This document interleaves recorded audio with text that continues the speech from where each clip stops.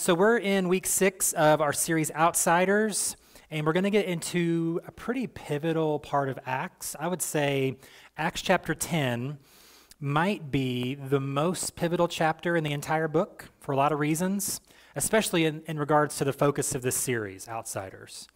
Um, and when you think about outsiders, you think of like exclusive clubs and you might think, you know, especially in, you know, New York City, there's several clubs, and you have to be an alumni of a certain university to even get a, a possibility of getting into this club. I know there's one club, I forgot to write down the name of it. Um, there's like a $50,000 entrance fee just to get into this club, and then you've got to pay something like nine to $10,000 a year to just stay in the club. Um, and you have to meet these other requirements to even do that. So if you want to give this club tens of thousands of dollars, uh, you can do that if you meet the bar.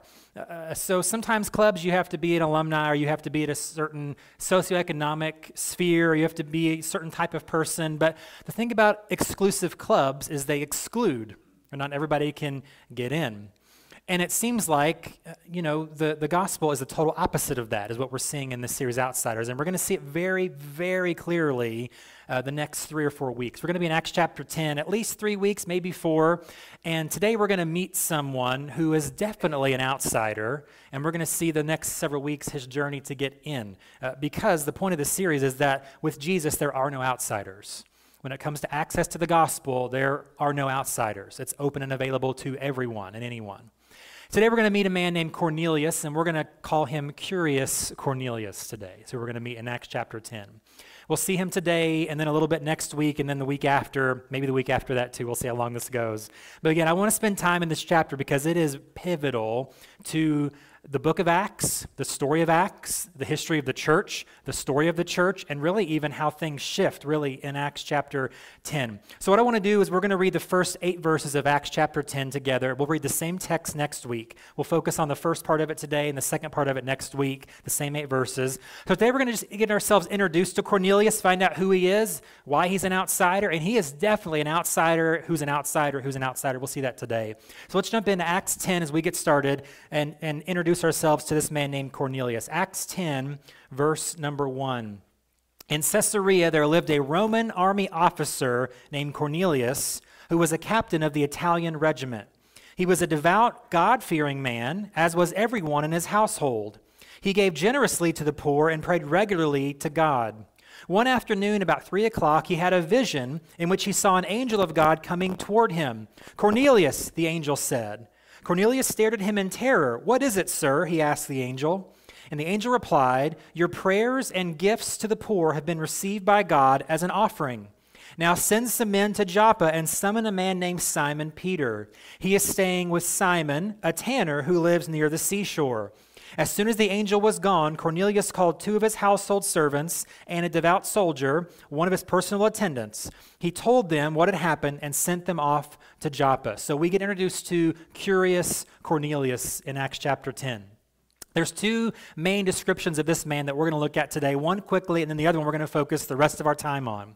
The first one is just the obvious sort of description of who he is. Uh, he's a Roman centurion. Maybe the translation you're reading from says centurion or captain of this regiment. So basically, he's sort of a captain, as you would even think of in terms of our military today, somewhere kind of in the middle. Uh, he's over about 100 men. Centurions would have about 100 men underneath their uh, command.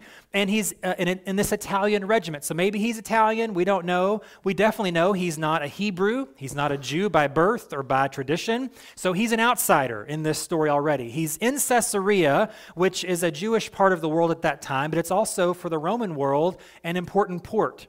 So he's a mid-ranking official who's over 100 men at this important Roman port. So, but he's an outsider to the Jewish people around him. But we see here he's he's a trusted man, obviously. He's respected, he's responsible. But the main thing that we see here is that it says he feared God. Now, depending on what translation you're looking at, it might actually have the term God-fearer in there, which is a better translation of really describing who he is. But this idea, this description of Cornelius being a God-fearer is what makes him an outsider, an outsider, an outsider on several different levels. When it comes to Jewish tradition or religion, there are four main categories that they would see people in. One is obviously you're Jewish. But that's by birth, that's by heritage. So you're either a Jew or you're not. You're born one or you're not. And then, so the other obvious category are what they might call pagans, or maybe you've heard the term goy or gur, okay? So these are non Jews. They are pagans in the terms of they, they observe any religion other than Judaism. It doesn't matter what religion it is, or which God it is, or how many gods there are. Even atheists would be a pagan. So anything other in this context than a Jew by birth, by heritage, is a pagan. But within that category are two other ones, and Cornelius is one of them. So a pagan can, as we'll see in a moment, can become somewhat Jewish. You can't be born a Jew if you're already born, um, but you can be grafted in, in in sort of a way, and those would be called proselytes. So a pagan can become a proselyte. We'll look at how that transition is sometimes tricky, it's difficult, it's maybe sometimes rare, but Cornelius is not this. He is not a full blown convert to Judaism. He is a God-fearer, which is the fourth category. So you have a Jew, you have a pagan, you have a proselyte who's a convert to Judaism, or you have a God-fearer. So it describes him pretty well. He prayed to the God of the Hebrews. He had some sort of belief in their God. He's at least curious about this monotheistic belief of the Hebrews. That's who Cornelius is. But as you can see, he doesn't fit in anywhere. He's not a Jew, obviously, but he's not really a pagan either. But he's also not a convert to Judaism. He's not a proselyte. His category, he just doesn't fit in anywhere. He is the ultimate outsider.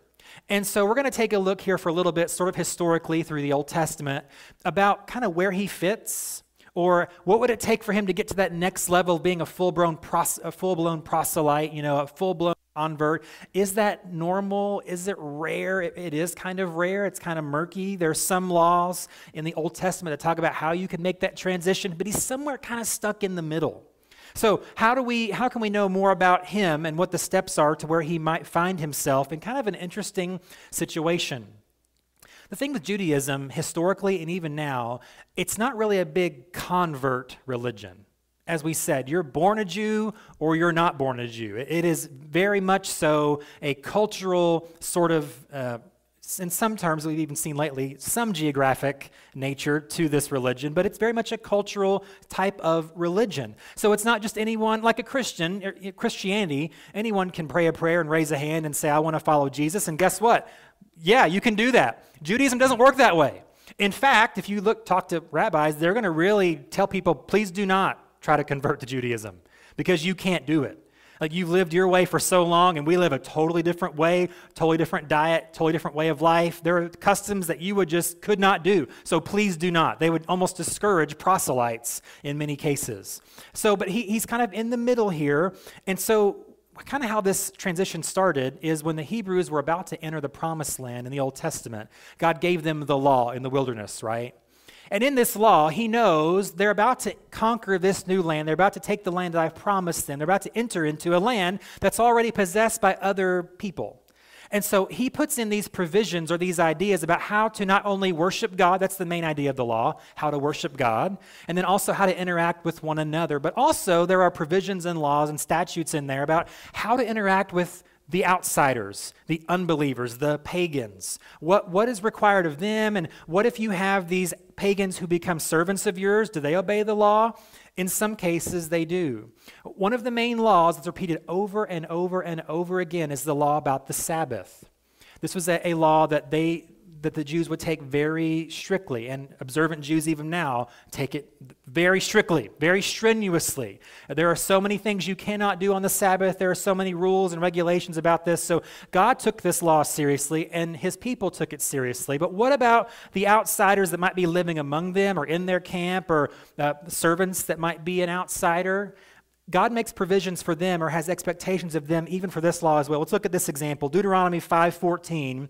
God says it this way, "But the 7th day is a Sabbath day of rest, dedicated to the Lord your God. On that day, no one in your household may do any work." This includes you, your sons and daughters, your male and female servants, your oxen and donkeys and other livestock, and any foreigners living among you.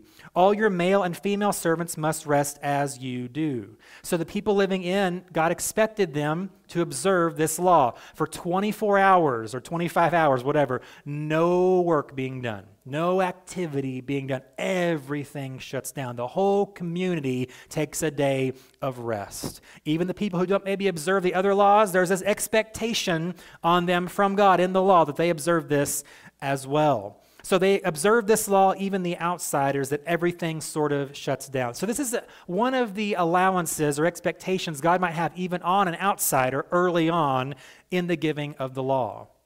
But we do, when we get to convert, converts or proselytes, we do know that there's at least one sort of mass uh, conversion story. So in the book of Esther, which is interesting, I would encourage you to read Esther in, in light of current world events. It will, you'll be like, hmm, I've read, that seems familiar. Because the book of Esther is about a plot to annihilate the Jews. I don't know if you've heard anything recently about what's going on in the world. We're kind of doing that thing right now, aren't we? And so the story of Esther, this plot by this high ranking official, uh, he's going to exterminate the Jews. He's going to kill one and then kill them all. And Esther, who is a Jew, but who's now the queen of Persia by marriage, she and her cousin Mordecai hear about this plot and they stop the plot. But the story doesn't end with the plot being stopped. There's still a couple chapters left because there's still an attack of the Persians there against the Jews later on in the spring of the next year. And so the, they try to attack, the Jews defend themselves, they win the battle, and the story kind of has a happily ever after ending. But in the middle of that is an interesting sort of mass conversion story. Okay? So before we have, you know, the plot coming, we know it's coming, we know it's coming, and then we have the victory. In between there is a few months, and in that time period, here's what happens. Esther 8, verse 17. It says, In every province and city, wherever the king's decree arrived, the Jews rejoiced and had great celebration and declared a public festival and holiday. And many of the people of the land, not Jews, became Jews themselves, for they feared what the Jews might do to them. So now it doesn't seem like a sincere conversion, but nonetheless, it's recorded. Now we don't know if it was legit, if God said, okay, you said you want to be my people, so now you're in. We don't know if He said, okay, this is not sincere, so you're still out. It's just like you're trying to save your skin here because you know a battle's coming.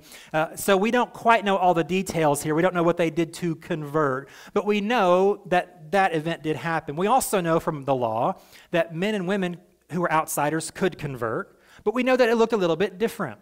So when you look at the Old Testament law, specifically Deuteronomy 21, there are allowances for women who are non Jews to become Jews. Now, the main way, and the way that it's described in Deuteronomy 21, is it would be through marriage. So, after a battle would happen, uh, if the people of God were successful, there's going to be dead men on both sides, right? Just, that's just how it is.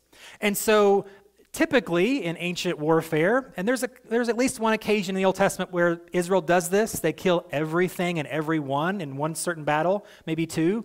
But there would always be this unique twist that God would have where he would, where he would say, well, let's spare the women and children, which is kind of still how Israel does fighting today. It's really interesting how they still keep the same sort of parameters of war. But so what God would do is he would allow, instead of like, we're going to keep these people as slaves, we're going to make them family. We're going to make them part of our people. And so there's allowances, you can read it in, in Deuteronomy 21, where uh, women especially could be taken in as wives of these Jewish men. Now that seems barbaric now, and that seems really weird now, but in that culture, it was like extra special good that they would do this. We're not killing them, we're not enslaving them, we're not going to pass them around like trophies, we're not, we're not going to do that. We're going to bring them in as our people through the, this marriage vow. Okay? And so they, there were some requirements of the men um, to be the wives. They would have to shave their head, sorry. Uh, they'd have to cut their nails. They'd have to change, put on new clothes. And they would mourn, it says their parents, for 30 days. And then basically they have that 30 day period where they're sort of, sort of taken this transition time. And then they will be taken in as wives of these Jewish men and become, in essence, Jews. So that was a way that women could do that to become insiders. And again, it's, it's not barbaric in ter- how we would see it with Western 21st century eyes. It was really more a provisional blessing to these women and their children. It's better than many alternatives that much of the rest of the world would put on them. And so that's how that was written into that law and really why. Men have a different uh, way of doing things.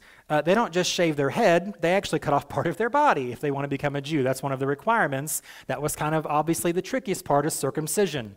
That was a requirement. And this was even before the law was given, right?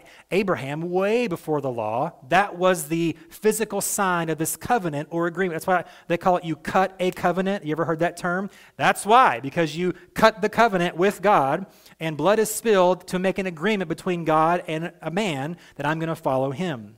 And um, so by the way, Abraham did that when he was 100 years old. Yikes, right? And he, then he had to circumcise his adult son. So there you go. That's kind of a little extra, you know, PG 13 stuff there for you, but there we go. So men had to do more to prove themselves um, than women because obviously you don't want enemy infiltration. Yeah, I'm going to be a faithful Jew, and that's a plot to like kill from within. Uh, purity and cleanliness was a key to Judaism, but also circumcision was the key physical sign even before the law. And we see this even in the Passover before the people of God leave Egypt. They have the first Passover. The death angel is going to come and kill all the firstborn of anyone who doesn't slaughter a lamb and put the blood on the doorposts of their home.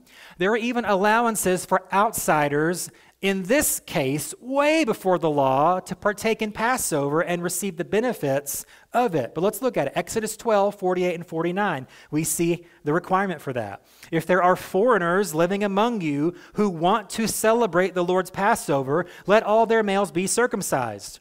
Only then may they celebrate the Passover with you, like any native born Israelite. But no uncircumcised male may ever eat the Passover meal. This instruction applies to everyone, whether a native born Israelite or a foreigner living among you. This is again for God's people only, and this is the physical way to show that commitment to that covenant between God and that man. There's no benefit without the commitment. So circumcision remained a key part of Judaism, and it would actually, as we'll see later in Acts, cause us quite a controversy.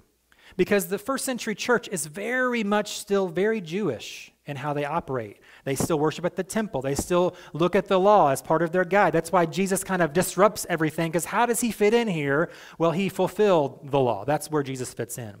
But so it's very Jewish. So there's a discussion that we'll look at later on uh, about okay, do these converts to Jesus, do they have to be circumcised? Like, do they have to fulfill this part of the covenant? Like, what's the deal? And there's a, a long discussion, debate, even a church council meeting about it that we'll get to later on. But it's still something that we see here. So Cornelius is stuck in the middle. He's not made that full commitment yet. Um, he, he's not a proselyte. He's not fully committed to the ways of Judaism, but he is a God-fearer. He is in that category. So, again, a total outsider, not a natural Jew, not a converted Jew, but not a total pagan either. So, what does he do? He's stuck. There's good news for him, though, and that is even in the Old Testament, the prophets talk about a time in the future where Cornelius might have a way in. This outsider might have hope after all. Let's look at this from Isaiah. Isaiah 56, uh, verses 6 through 8, is sort of the hope that Cornelius might have here. Isaiah 56, verse 6. God says, I will also bless the foreigners who commit themselves to the Lord, who serve him and love his name, who worship him and do not desecrate the Sabbath day of rest. There, it's very important for some reason to God here and who hold fast to my covenant. I will bring them to my holy mountain of Jerusalem and will fill them with joy in my house of prayer. We sang that this morning. That was a total coincidence. I did not even realize that was in there. So there you go. Um, then catch this I will accept their burnt offerings and sacrifices. Remember, in Acts 10, the angel says to him, Your offerings have been received by the Lord. So he's already seen this happen in his own life. I will accept their burnt offerings and sacrifices because my temple will be called a house of prayer for all nations. And then verse 8 For the sovereign Lord who brings back the outcast of Israel says, I will bring others too besides my people Israel. Some of this Cornelius is already experiencing, whether he realizes it's Isaiah 56 or not. He probably doesn't right? But it, he is. He's seeking God. He was as devout as he could be. He prayed to God. He made offerings and sacrifices that God accepted, the angel said. He was generous to God and to others. And then again, verse 8 points to an even greater future development. I will bring others too, besides my people Israel. Cornelius here in Acts 10 is one of those first people. He's one of the first examples. And really, we've, we've already looked at the Ethiopian eunuch that Philip ministered to. Earlier in Acts. He's really one of the first, but Cornelius, we get a, a, larger picture, a deeper dive into that. He's one of the first to realize this shift in what God is doing, what he really had planned all along, honestly. One more scripture here, and then we'll kind of shift to a couple of other examples that Cornelius sort of reflects. Isaiah verse 11, or 11, chapter 11, verse 10. In that day, God says, the heir to David's throne will be a banner of salvation to all the world. The nations will rally to him, and the land where he lives will be a glorious place. Remember, up until this time, Judaism is very much a closed system. It's a closed society. There are ways to get in, but it's not easy. There are ways to go from outside to inside, but it's really not. Most people would say, no, just stay on the outside. We're fine where we are.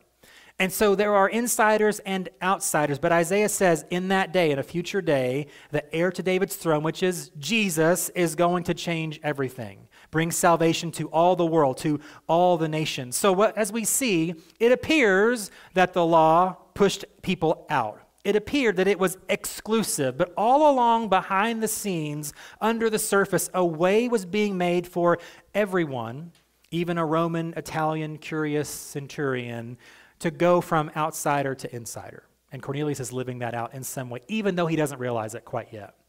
There are two parallels in the life of Jesus I want to look at for the next few minutes to show us more about where Cornelius is and what he's probably thinking, how he's feeling, and then what he can what can I do? How can I go from outsider to insider? What hope do I have? One of the parallels, the first one, is an obvious one. The second one, maybe not so much, but they're both to deal with the life and ministry of Jesus. So the first parallel that we see is another Roman centurion. We don't know his name, but we know that he approaches Jesus with a problem. He approaches Jesus and says, Hey, my servant at home is ill. That's all he says. He doesn't ask him to do anything yet. He just tells him, I have a servant at home who's sick. And Jesus says, Well, I'll come to your home and heal your servant, which is odd because this centurion is an outsider. Jesus is an insider. He's not really supposed to go to an outsider's home.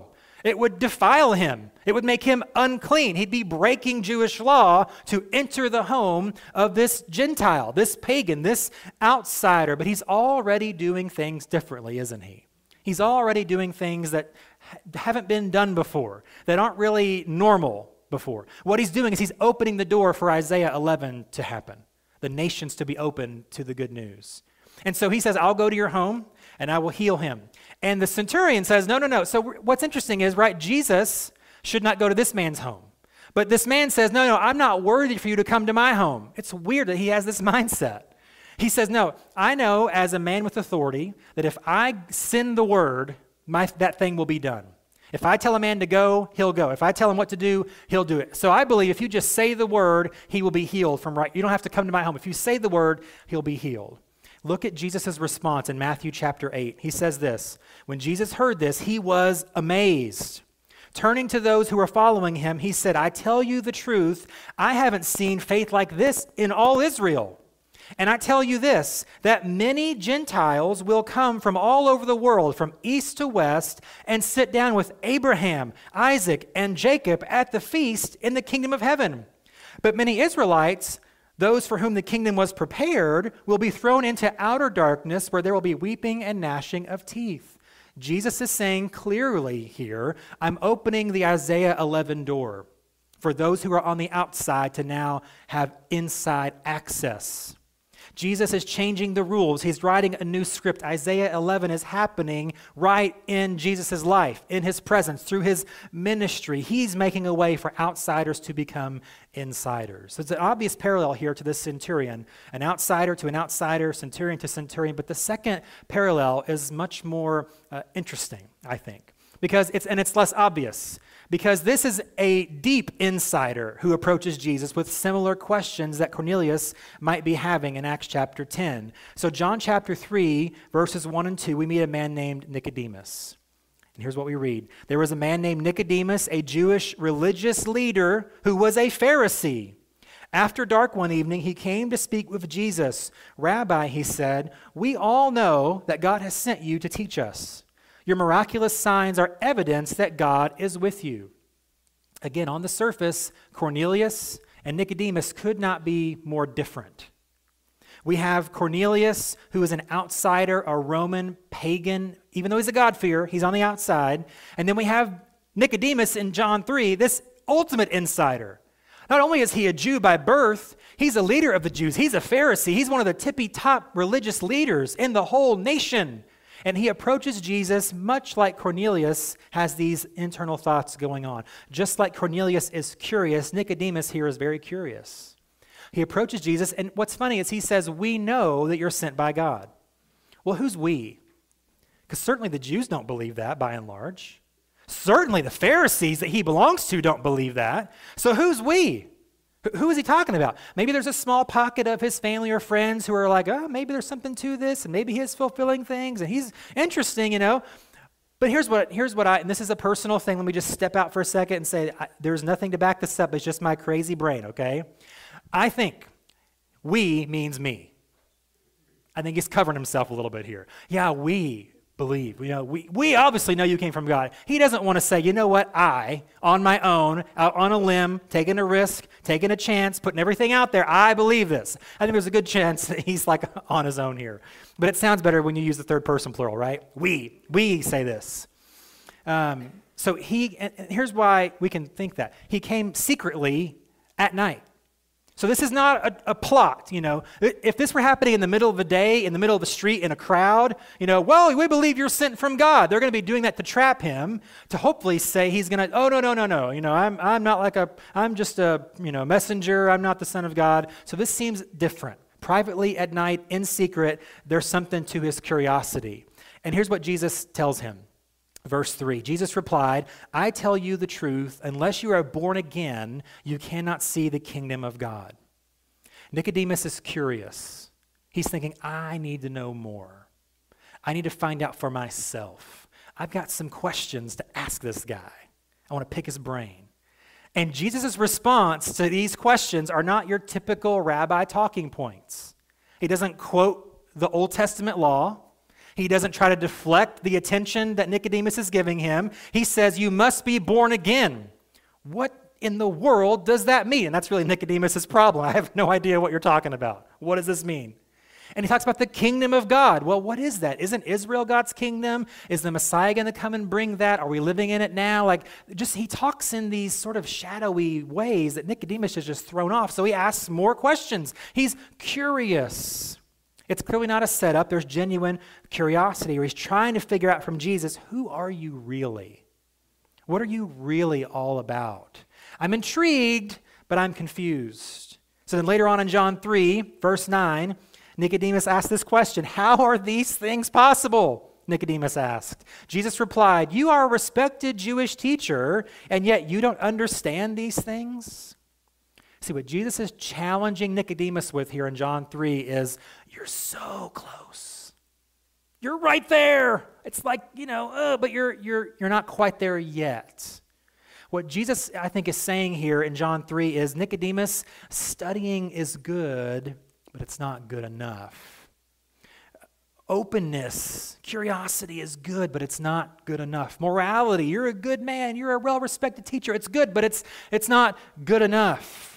Because someone who's open and studying and moral, they can just be a scholar, but not really born again.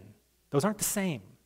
Really, someone who studies and is open could be an agnostic, right? I don't know what to believe. I'm studying everything. I'm keeping an open mind. I'm curious. I don't want to commit. I don't want to nail down to this one way because what if I'm wrong? We had a, a college professor um, that called agnostics spiritual schizophrenics because they can't commit. They're everywhere. They just don't know what to believe. They don't want to nail it down. You know, what if I'm wrong? What if this is right? What you know? And so you th- that's not the same as belief, as born again. Jesus tells him this. And really, when it comes down to this, what he's really telling Nicodemus is even being religious is good, but it's not good enough.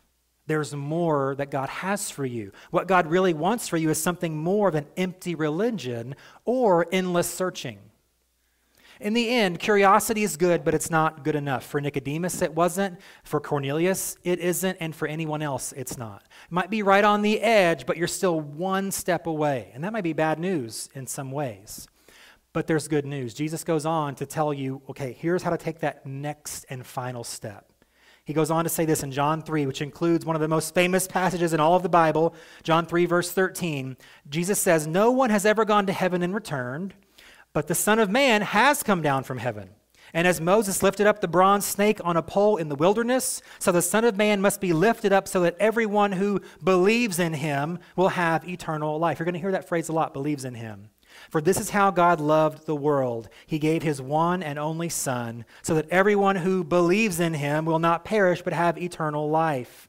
God sent his Son into the world not to judge the world, but to save the world through him. There is no judgment against anyone who believes in him, but anyone who does not believe in him has already been judged for not believing in God's one and only Son. Again, Jesus is saying to Nicodemus, and I believe Cornelius is dealing with the same thing curiosity is good. You're so close, you're right there, but you're one step away. And Jesus says here clearly what that one step is it's going from curiosity to commitment. It's going from curiosity to conviction, to belief. He says it five times in six verses belief in Him, belief in Him, belief in the one and only Son of God. That's the step. That's the belief. That's the decision. That's the choice to go from curious to committed.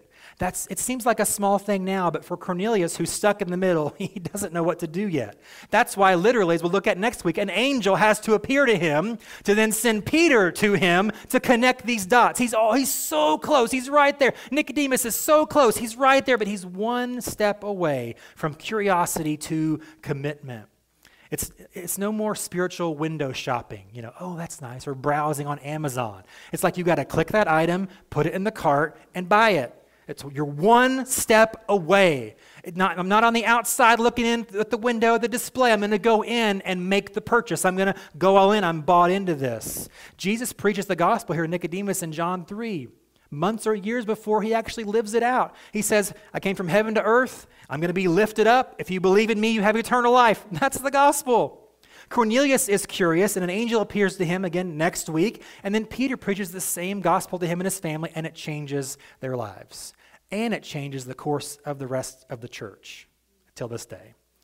So here's two points of application really quickly as we close. Let me ask you this Are you curious Cornelius? Are you right there? You're so close, but you're not committed. Uh, you're, you're curious, but you haven't, like, ah, I don't know yet. I haven't crossed that line. I haven't made that decision. I don't want to commit either way you're just one step away from curious to convicted, from curious to convinced. But if you're ready for a new life and you're ready to go from the outside to the inside, the answer is that one step, and his name is Jesus. Here's the second question, the second application, and that is if you've already made that decision, who is your curious Cornelius? Who's that person in your life that is so close? They're a good neighbor, they're a good citizen, they're a good parent, they're just a good person. But as Jesus says to Nicodemus, that's not enough. As we see and we'll see in Cornelius' life in Acts 10, he was a God-fearer. He was right there. He was open. He prayed even. But it wasn't enough. Who's that person that's good, but it's not good enough? Jesus says you must be born again. It's the work of the Holy Spirit. And so, our task, my prayer for us this week, is to find that curious Cornelius in your life. Ask God to bring them into your life across your path, to make it clear, and then to give you an opportunity and the courage to just share Jesus with them.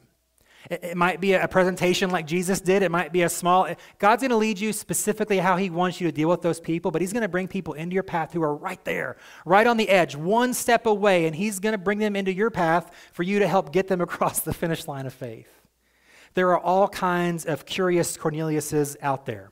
And so, my hope and my prayer is that God would use each of us to help lead them that one step to start that relationship with Jesus. Let's pray. God, there are, there are people all around us who are just like Cornelius. They're good people, they're moral people, they, they, they're good neighbors, they're good friends, maybe even they're our family, and we love them, and we know that they're moral, and they might even pray, they might even go to church sometimes, but they've not made that next step to cross that line of commitment to Jesus. They've not gone from curiosity to commitment. They're so close. So, God, would you give us those opportunities even this week to maybe help them inch closer to that line of faith? It might just be a simple phone conversation or a text message. It might be that as we as we just pray for them that they come to that decision of faith. It might be they reach out to us and say, "Hey, I've got some questions or I've been really curious lately." God, give those opportunities to us is my prayer. And then as they come, help us to take advantage of them. To not say, well, maybe next time, or well, I don't know if I can, or I don't have the right words. No, you've brought them across our path for a reason. You know that we can do it through the power of your Holy Spirit. It's your work anyway that you're doing, not us. We're not going to save anyone. We're just going to kind of get them closer to Jesus as we see Cornelius will in the coming weeks. Their searching can end, and their new life can begin as they start a relationship with Jesus. Lead us to them lead them to us, however it turns out, either way, so that we can get them to Jesus. May we be obedient and courageous and available to be part of what you're doing in the world. So many people, so close. May we be the link in the chain to get them closer to and connected to Jesus. That's my prayer today. Give us those opportunities even as we leave this place today. Give us an awesome week this week and bring us back next time ready for more of you. In Jesus' name, amen.